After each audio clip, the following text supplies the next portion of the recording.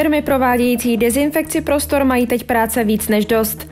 Čtvrtý test na koronavirus, který absolvoval hejtman Josef Bernard, je pozitivní. Obyvatele Stocka trápí nesnesitelný zápach z polí. Jak ochránit své občany a zaměstnance před nákazou koronavirem? To je otázka, kterou neustále řeší všechny úřady. Některé z nich v těchto dnech přistoupily na dezinfekci svých prostor. Například na Doubravce to bylo v úterý. Proběhla kompletní dezinfekce celého úřadu, všech prostor na úřadě, včetně kanceláří. Eh, vydezinfikovali jsme také Doubravecký klub a naše veřejné záchodky, které provozujeme. Prvních eh, okamžicích eh, problémů jsme se snažili najít řešení, jak umožnit eh, fungování eh, našeho úřadu a mimo jiný jsme zkusili tedy i eh, dezinfekci těch veřejných prostor. Musím říct, že dezinfekce se osvědčila, v současné chvíli přemýšlíme o tom, zda ji budeme opakovat či nikoli. Dezinfekce objektů se v některých obvodech města týká i mateřských škol. Úřady už se připravují na jejich otevření. Postupně se připravujeme samozřejmě také na případný návrat dětí a zaměstnanců do našich mateřských školek. Máme jich u nás v obvodě šest.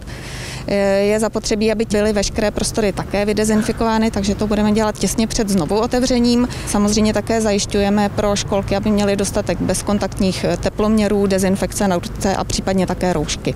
Ve středu prošly celkovou dezinfekcí i některé objekty v Rokycanech. V Rokycanech jsme přistoupili v rámci boje proti koronaviru k preventivní dezinfekci eh, některých částí v našem městě. Eh, konkrétně jsme provedli dezinfekci veřejných budov, to znamená radnice obchodního domu Žďár, tedy míst, kde eh, dochází k většímu kontaktu mezi lidmi.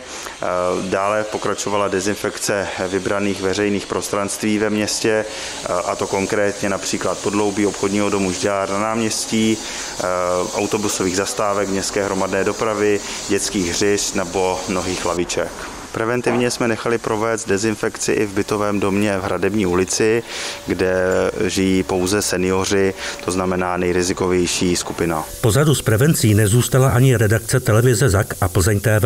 Pracovník odborné firmy Dezinsekta vydezinfikoval její prostory. Širokospektrální dezinfekční zásah eh, prostor kanceláří, co prostě zákazník vyžaduje.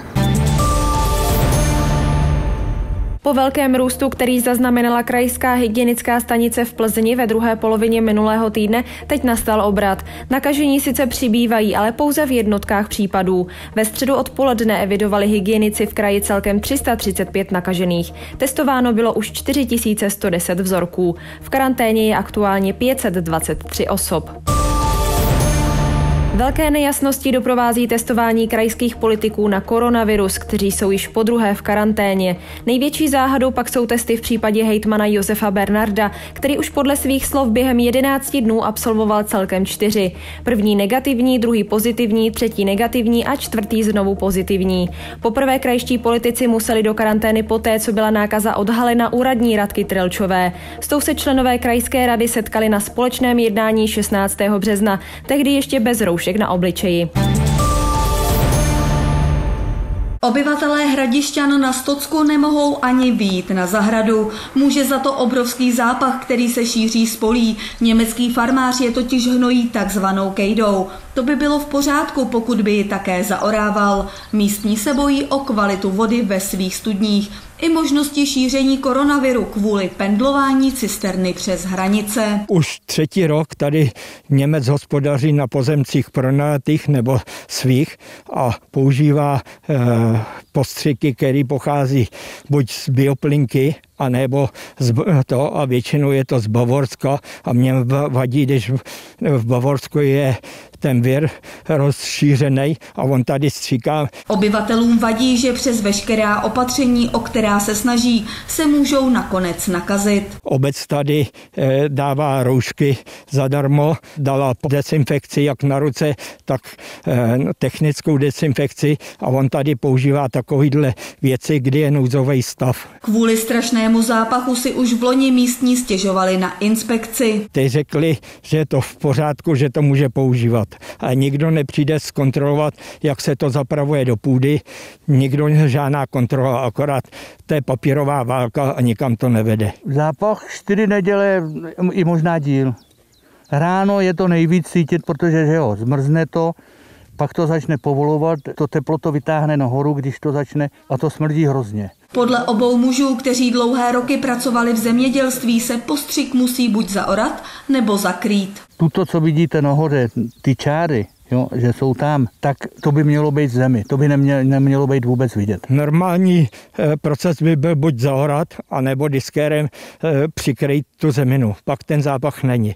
Ale takhle, když se to dá na povrch zapršít, tak se to rozkládá a zase ten zápach to. A je to hrozný, protože to se nedá vydržet. Podle kontrolního a zkušebního ústavu zemědělského, který na polích kontroly provádí, ale farmář jedná pravděpodobně v souladu se zákonem. Jde o konkrétní pozemek, konkrétní uh, kulturu, jestli je to orná půda nebo jestli je to travní porost. Jde o to, jestli je tam někde poblíž voda nebo jestli tam jsou nějaké další omezení. Každopádně do porostu na orné půdě se může aplikovat hadicově. Obyvatelé Hradišťan se na úřad mohou obrátit se žádostí o prověření konkrétních pozemků. Pokud bude vše v pořádku, budou muset zápach snášet dál. Na ten se totiž zákon nevztahuje. Za přísných hygienických podmínek se ve středu otevřely sběrné dvory v Plzni. Město tak reagovalo na nové opatření vlády. Do prostoru dvora mohou naráz pouze dvě vozidla. Je také nutné dodržovat minimální vzdálenosti dvou metrů mezi osobami, a to zejména při vykládce odpadu. Lidé musí mít roušku a ochranné rukavice. Sběrné dvory otevírají i další města. Od úterý je opět v provozu sběrný dvůr ve spáleném Poříčí. Otevřely se i oba sběrné dvory v Rokycanech. Chirurgické oddělení domažlické nemocnice obnovilo provoz. Oddělení bylo zavřené od 26. března, co zde byl přijat pacient nakažený koronavirem. Druhé testy personálu dopadly dobře, proto bylo možné provoz oddělení obnovit. Začnou se zde provádět neodkladné operace. Oddělení už začalo přijímat také nové pacienty k akutní hospitalizaci. Plzni v plném proudu rekonstrukce Lochotínského amfiteátru, jednoho z největších pódií v republice. Důvodem je navýšení jeho nosnosti. Rekonstrukce pódia, které má plochu 1650 metrů čtverečních, skončí v druhé polovině května 2020. Město za ní zaplatí 6 milionů korun.